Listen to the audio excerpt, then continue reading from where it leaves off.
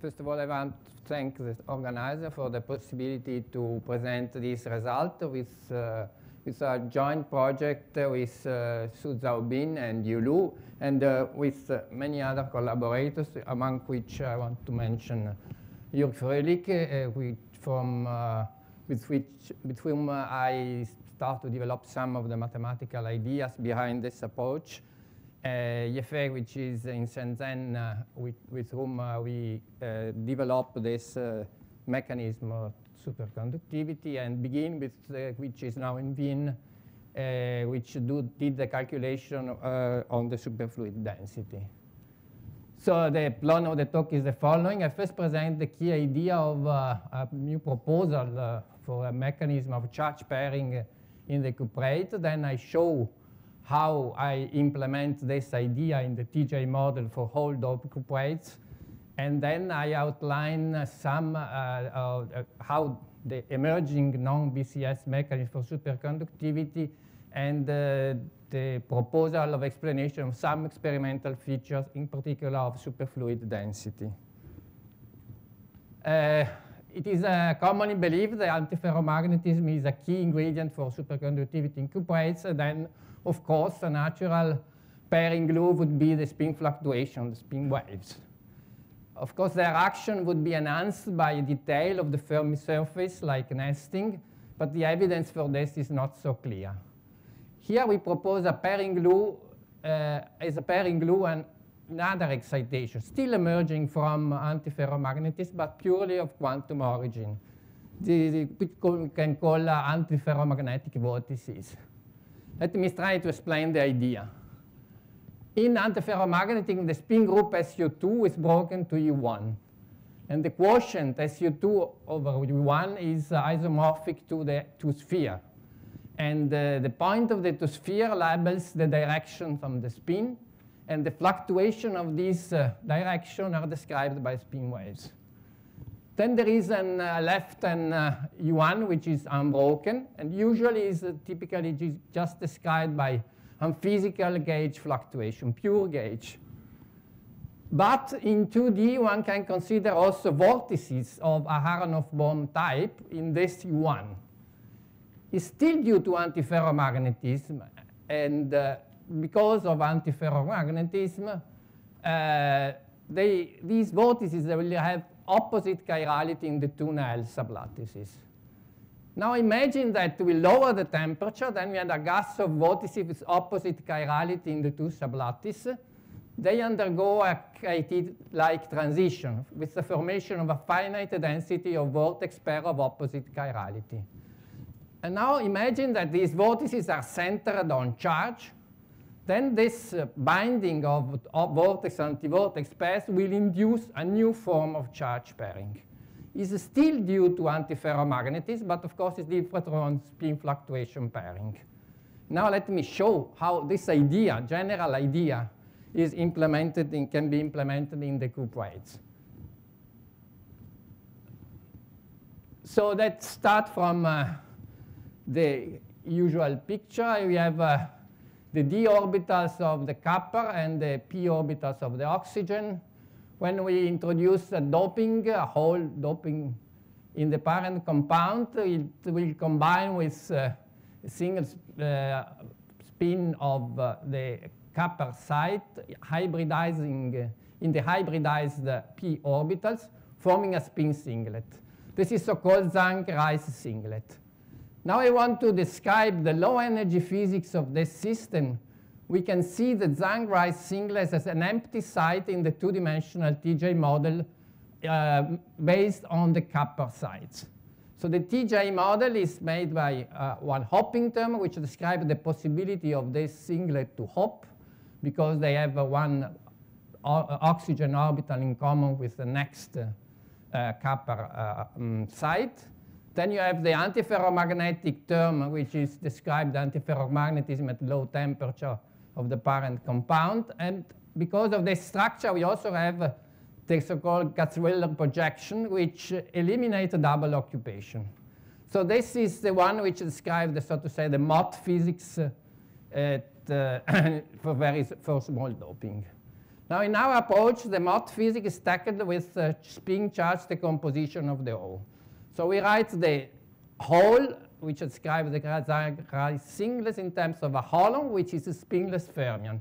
And then, by the Pauli principle, automatically take into account no double occupation constraint.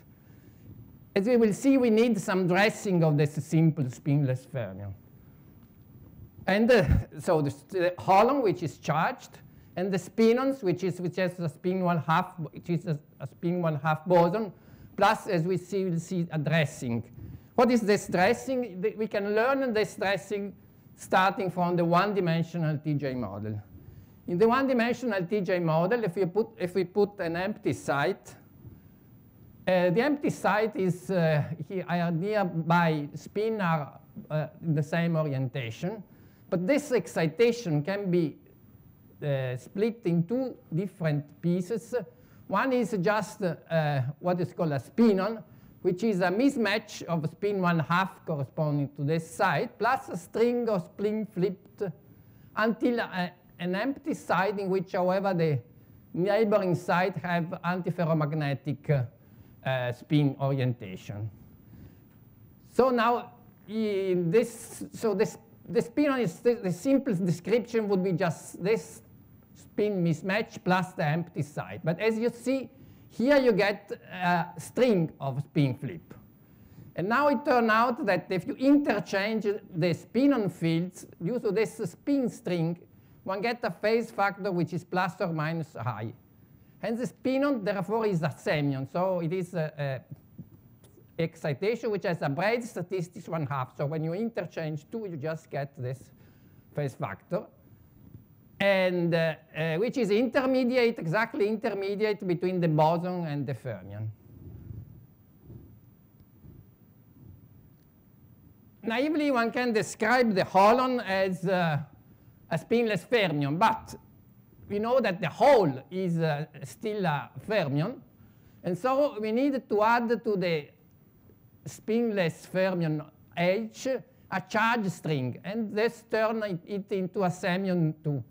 So combining together the two strings, you get back a fermion as you want for the hole. However, the charge string has an additional effect. It modifies the Haldane occupation statistics of the holons from parameter 1 to parameter 1 half, so that the maximum occupation at fixed number is 2. And the Fermi momenta of the spinless semionic holon is the same of the Fermi momenta of a spin 1 half fermion. Therefore, the spinon, since the spinon has no chemical potential, the composite hole satisfies still the Luttinger theorem. So this is the way in which, in one dimension, one realizes uh, the uh, excite uh, key excitation. Now, this, this suggests to proceed in the same way in two dimensions.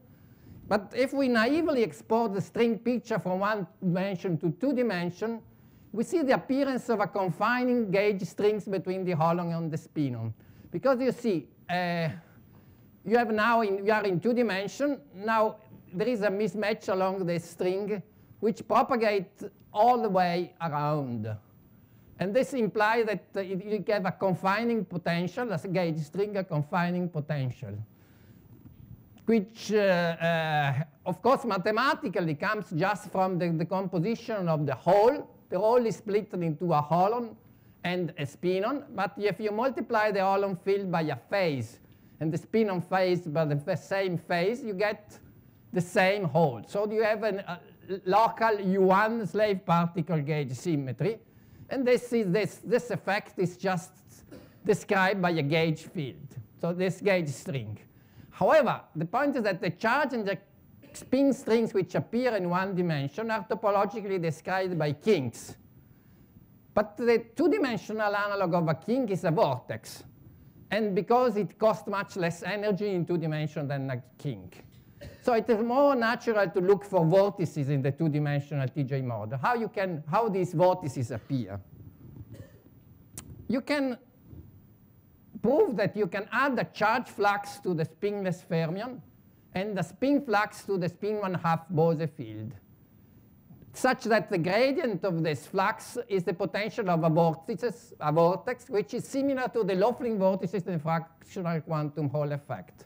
What is the effect of this charge flux and the spin flux? This modifies the statistics of the Holon and the spinon and convert again them into a semion as in 1D. St eh, but still, the original uh, hole which describes the, the right rise singlet is equal to so Holon times this flux, charge flux, spinons times this spin flux, which are written here. These two fluxes can be introduced via coupling with a Chern-Simons gauge field in the Lagrangian. They don't modify the dynamics because the Chern-Simons field do not modify the dynamics. It modifies the statistics, but the point is that the statistics change which is introduced by the U1 group is exactly cancelled by the statistics change induced by this SU2 spin group. So this is, if you use this representation, uh, keeping this constraint uh, fixed, you really get the uh, exact rewriting. We proved that this is an exact rewriting of the TJ model. Now you, do a, now you start to do approximation. You do a mean field in which you neglect the spin, spin on fluctuation in the spin flux. Then the spin of it becomes very simple like this, and then it is clear what is the meaning of this spin flux you just attach a U1 spin vortex at the Holon position, because this is a Holon position, with the opposite chirality in the two Néel sublattices. This is due to the fact that if you go back here, originally you have uh, this is uh, you have the spin uh, on one on the on the side, but because of antiferromagnetic, you get that this is basically concentrated in plus and minus uh, 1 in the z, uh, let's say, uh, uh, in the direction of the magnetization. Now, as you see, these vortices are in the U1, which is complementary to the SU2 or spin direction. You see, you do not, this is always along the Z direction. You do not, is not, a spin vortex in the sense that the spin direction moves in a vortex-like fashion, but it's like in the Aharonov-Bohm effect. It is a, a inside this strange U1, which is left unbroken by the uh, antiferromagnetic uh, transition. So this vortex is the U1, which is complementary to the SU2 or the spin direction. And so it's a purely of quantum origin because classically you only see this, SU, uh, this, this S2. You don't see this uh, uh, E1. So it's purely of quantum origin, exactly like the Aharonov-Bohm effect. And these are exactly the chiral vortices which advocated in the introduction. They do not modify the antiferromagnetic background, so they cost much less than a string. And uh, it, the effect is that the gauge field, the, slave particle gauge field, is not anymore confining, but it's only binding at low energy. So it binds together the spinon and the holon, but only at low energy. So, so the chirality of the spin vortices is a key factor for the pairing, and is due to antiferromagnetism.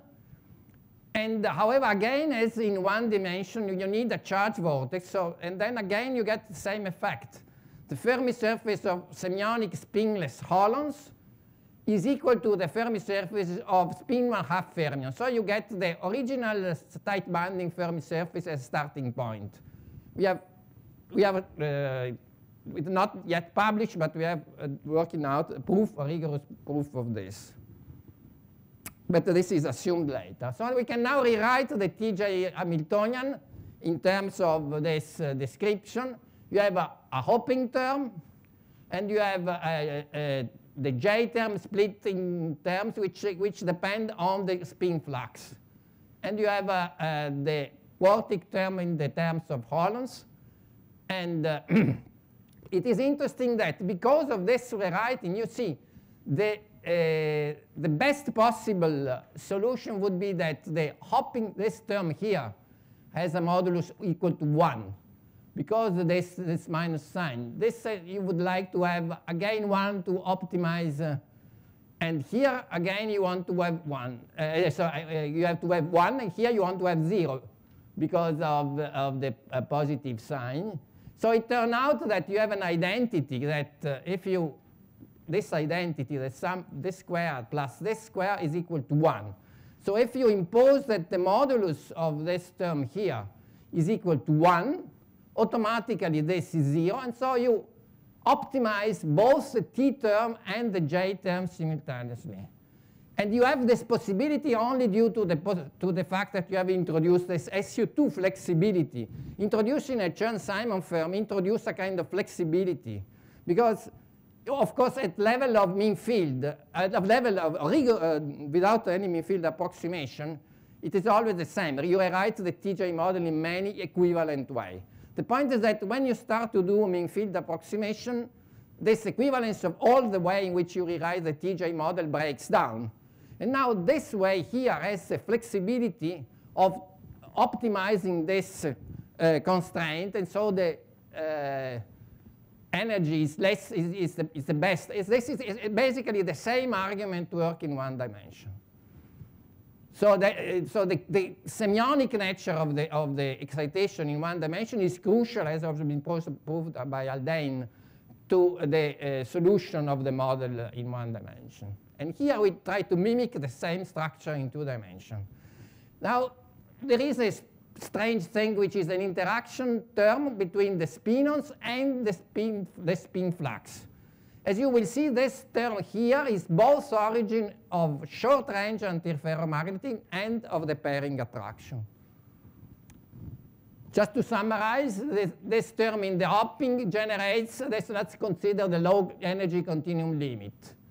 This term in the hopping generates a, a, minimal coupling of holons to the slave particle gauge field, which is written in terms of the spin in this way. The second term generates uh, uh, a O3 Heisenberg model describes the undoped cuprate with a renormalized coupling due to the presence of the holons. And the third term, it turned out to be a repulsive term for the spinons because of positive sign. And introducing a Hubbard-Stratonovich field, we can treat in mean field the holons and generate a spinon pairing term, like in, its, in the kind of BCS-like treatment. Now the interaction between vortices and spinons, this term here, if you now average the flux, automatically you get a, a gap for the spinons. So it turned out that the gapless spinons, which describe the spin waves of the Heisenberg model, traveling in this gas of spin vortices, which are centered on holons, acquire a gap. And this gap is proportional to the square root of delta log of delta. So this is a transition from a long-range antiferromagnetism of the undoped parent compound to a short-range antiferromagnetism of the doped system. And the dependence of the doping is in agreement with uh, experiment on antiferromagnetic anti anti correlation lengths. But the same term, now you do uh, different. You, instead of averaging this, you average the, the term with a spinon. It turns out that the result is just a two-dimensional Coulomb interaction between holons in different Néel sublattice, which is due to the original KT interaction between the spin vortices. So originally you have these vortices, they have an interaction, but because uh, this generates a Coulomb attraction between holons because all the vortices are centered on, on, on, on holons, which correspond to the, remember, correspond to the description of Zhang-Rice singlet in the end. Now, because of this two-dimensional Coulomb attraction at uh, the Kosterlitz temperature, which we call uh, T-pairing of Holon, TPH, you have the formation of incoherent Holon pairs. Of course, they have a D-wave-like structure because it is clear from this way here that the nearest neighbor have the strongest attraction uh, in, in, in this case. And you can solve to find the, this temperature, this Costed uh, like temperature by solving a kind of BCS gap equation. However, I mean, the hole is not made only of charge, it's, only it's also made of spin. To get the Cooper pair, you, you need a spin pairing. What happens is that it is the gauge. the gauge attraction between the spin and the charge using the Holon pair as a source of effective spin attraction induce a formation of incoherent spin singlet resonance valence bonded spin pair at a lower temperature, which I call a TPS pairing of spinons. And to find this temperature, you just solve the analog of the kind of BCS-like equation for the spin order parameter. Why you get this uh, spin pairing? The spin pairing is favorable because it lowers the spinon gap. Why? Why? Because if you have a, a vortex-antivortex pair which is very close, they form a dipole, the dipole do not screen. But the screening is exactly the gap of the, of the spinons. So lowering the gap of the spinon, you gain energy. And so it is favorable at lower temperature to find really a, a spin pair formation. It's a temperature which is lower than the temperature of, of spin pairing. The effective action you can obtain just by integrating out the massive spinons. What is the result? Is a gauge three-dimensional XY model with angle field, which is just a phase of the hole pair field. So you have holon, you have the spinons, the RVB spinons, and the, the, the, the uh, phase coming from the spin, uh, spin vortices, so to say. What is uh, the, this, um, the gradient of this phase is just the potential of the Abrikosov standard magnetic vortices. So this is are the, the usual vortices, not the one, the one we have discussed until now. So then the Lagrangian is just the usual uh, XY model coupled with the gauge field. this model is three-dimensional because the spin-on dispersion is relativistic. And it treats spin, uh, space and time on the same footing, and the temperature is much smaller than the energy scale, which is set by J. Now below uh, this temperature in which you pair the spinons, you have both incoherent pair of pinon uh, and incoherent pair of holons. So now you have an incoherent composite Hall pair. Now when this, now you have this uh, preformed, so to say, pair. When this pre-performed Hall pair condenses, you finally get the superconductivity. So basically, the diagram which we get the, uh, from uh, numerically from uh, is of this form, and you have to be compared with, uh, this is the line which you find as a function of temperature and doping for the formation of the Hall pair, which is more or less uh, qualitatively agree with the T star, experimental T star. Then you have a line which corresponds to the pair formation of spin pair, which more or less agree with uh, this line, which is the line below which we find the Nernst signal in the, in the cuprate, and then you have superconductivity. So this is basically this three-step mechanism of superconductivity. So TC is at uh, smaller than uh, the, the, formation, the temperature of a spin pair formation. So the low energy description is that of the gauge XY model. Then the superconducting transition is just a superconducting transition of the 3D gauge XY model. At the critical C, the gauge field is gapped by Anderson-Higgs mechanism, and the gauge fluctuation are suppressed, so it's basically close to the superconducting transition of the classical three-dimensional XY model. The uh, superconducting scale is set by spinon pair condensation because if you, if you go back, you see that originally you have uh, the, the, the, only when the spin pair condense, the, you get the all pair condensation. So the, sorry, uh, so the why, why you get this? You get, get a gain in kinetic energy by lowering the spinon gap.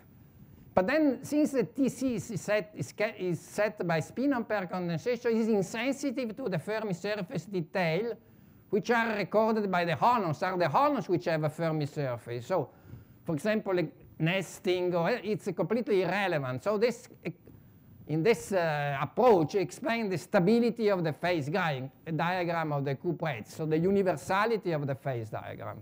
Because it's not due to detail of the Fermi surface of the uh, charge carrier, but actually is basically dominated by the spin carrier, which are very universally independent of any detail of the Fermi surface. Uh, just a flash on two uh, property uh, in between the, the, the region in between. When the temperature is between the critical the superconducting temperature and the formation of the uh, charge pairing, the scattering of the phase of the Holon pair field on Holon destroys the coherence locally on the Fermi surface, starting from the antinodal region. And then this reproduces the Fermi arcs phenomenology. Just to show that this, this is, can be really reproduced, this is the, uh, this calculation in our model compared with one uh, experiment, uh, uh, one experimental data in BSCCO. So you really see that uh, the scattering of this Holon pair gradually from the this angle, this is in the nodal direction, but gradually, gradually, gradually, as you move towards the antinodal, develop this uh, lip, as in, in, the experiment. In the region between, instead, the uh, superconducting transition and the formation of the spin pair, then you have still incoherent composite Hall pair, and they support magnetic vortices. And because of the existence of the magnetic vortices, they support an Nernst signal. Just to show that the, qualitatively you get some agreement with experiment. This is the plot of the uh, spin ampere density in, in, uh, in, our approach compared with uh, the, the Nernst data in, in LASCO. And the, qualitatively, again, we, we find some kind of agreement. Let me just come to the application of the superfluid density. Let me stress that the normalized superfluid density, so this is OS is the uh, superfluid density, as a function of T over Tc, quotient by the uh, superfluid density at zero temperature, it turned out that from moderate underdoping to almost optimal doping exhibit a non-BCS universality with independence both on doping and on the specific kind of material.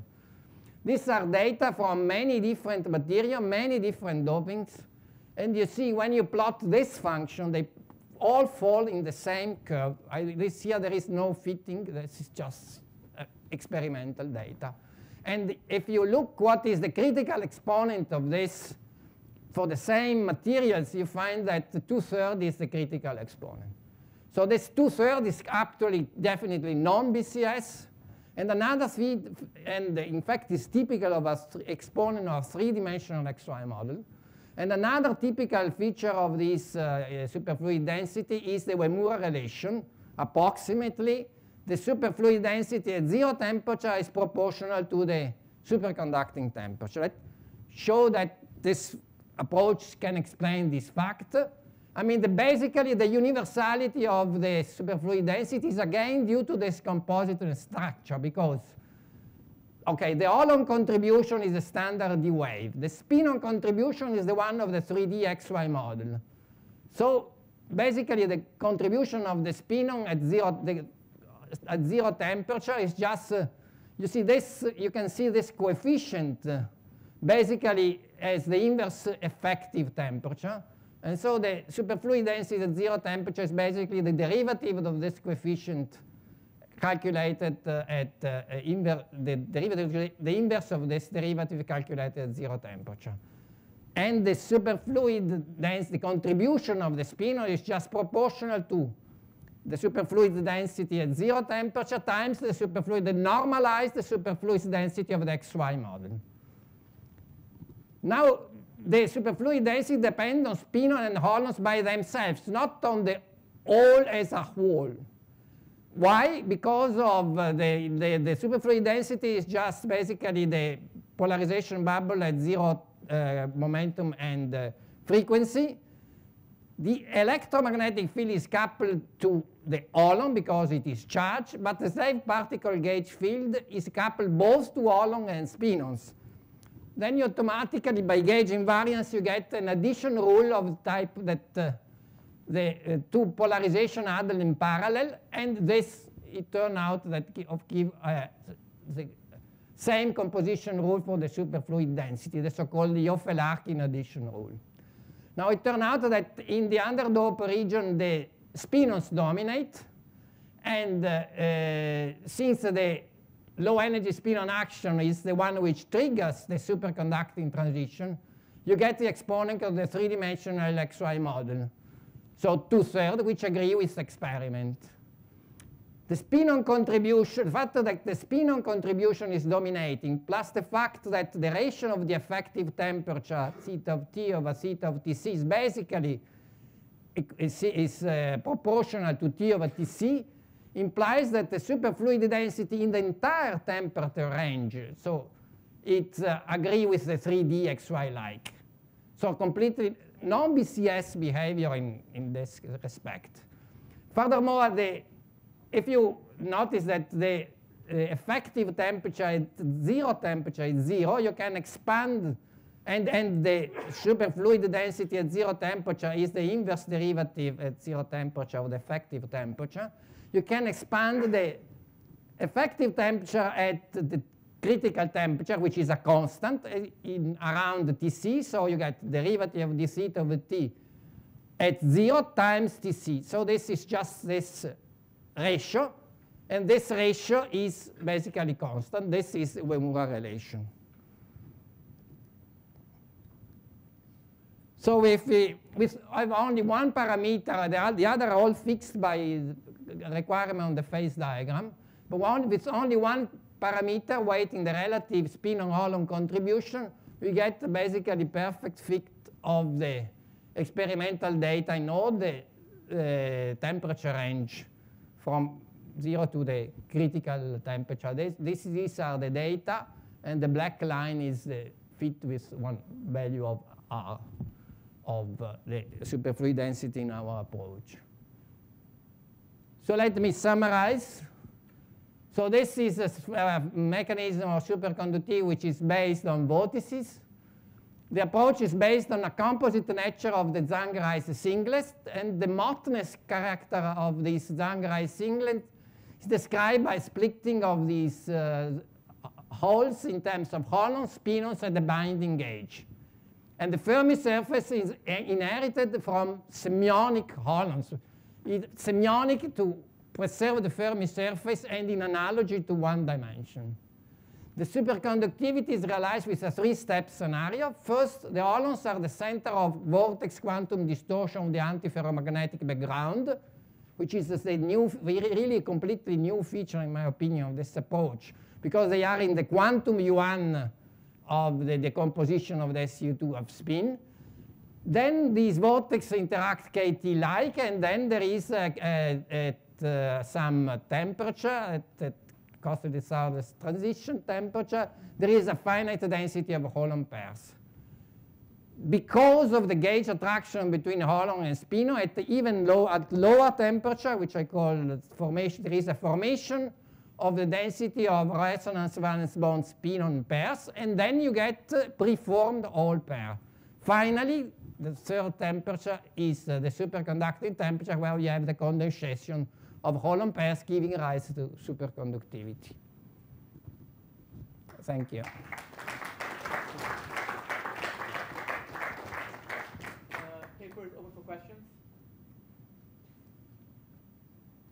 Um, uh, maybe, okay, maybe I just missed it. So uh, this uh, Chern-Simons term, Yes. uh, okay, did you add it because it doesn't like, okay, violate the symmetry or it appeared naturally? No. Uh, It, it, it, or, or it was derived from uh, something, okay. I probably missed it. Uh, no, so that Chern-Simon, we, you start from the TJ model. You couple uh, the, the, the, the holon with this, this uh, Chern-Simon test, so you add this term, okay? U1 cross SU2. Then you can prove that uh, this new, formally new uh, model is exactly equivalent to the original TJ model. This you can mathematically prove. Then you, you, you, use this additional freedom that you have in fact introducing uh, using the SU1 and SU2 to handle, to better optimize the mean field of this TJ model.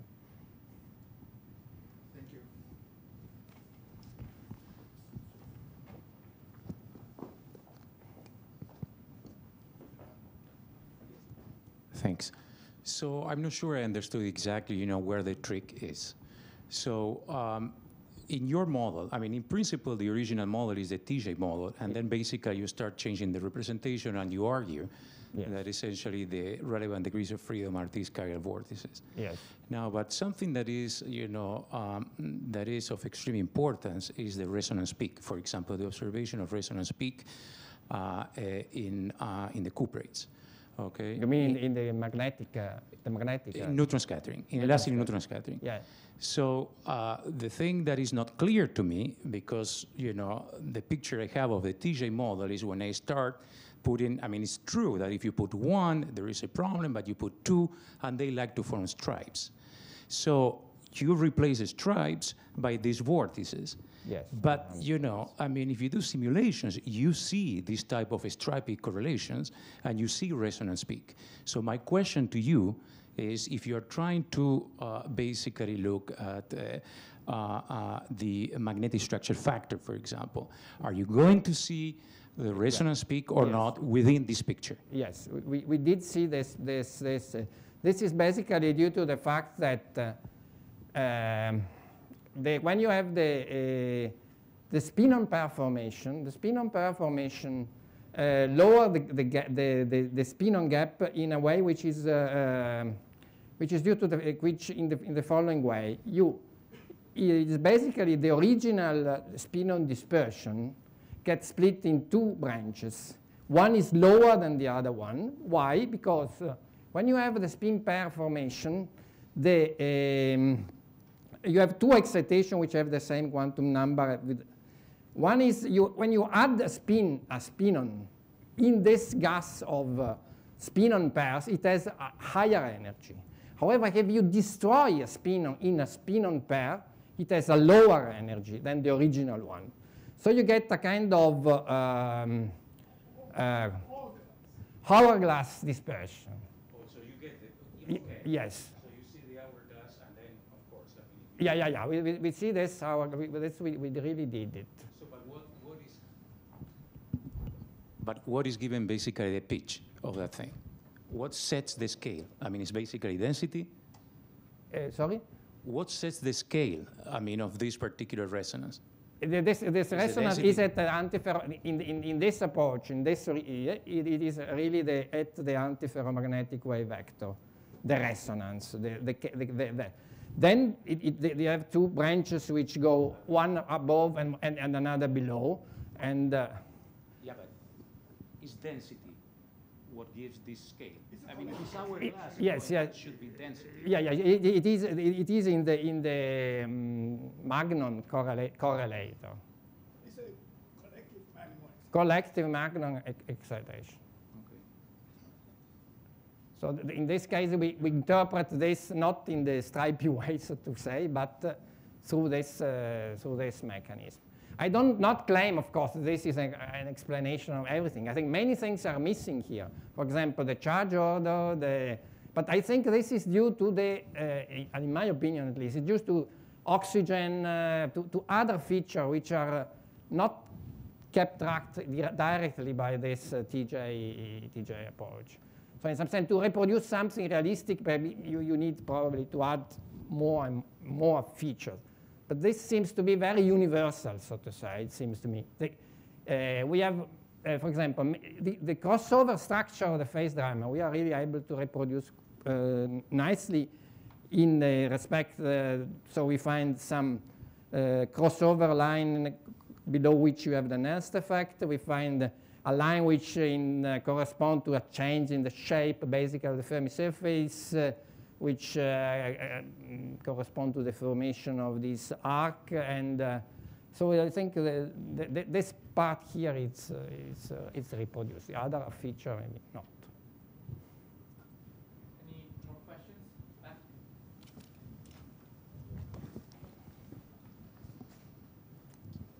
A few years ago, I remember reading a paper, an experimental paper, uh, which uh, claimed to infer uh, evidence for uh, skyrmions in doped antiferromagnets with uh, what seems like a very similar um, mechanism to what you've outlined, just outlined to us now in much more detail. Do you see any uh, possibility within your work for a, a non-zero topological charge in these vortices? So do you think there might be skyrmions rather than vortices causing the coupling? Mm, I, I think uh, we, we do not see this, this because skyrmion, I imagine it corresponds to a, a, um, a rotation of the uh, spin direction, if I understand correctly. But the point here is that these vortices have a nice feature that on one side they have vortices, and so they have all these nice features. On the other side, they do not disturb too much the antiferromagnetic background because they are in the U1, which is not involved in the spin direction. So that's the reason why I think they are the good excitation. Because you see, the string in one dimension flip the spin, and this is fine. In one dimension is fine because it do not cost too much energy.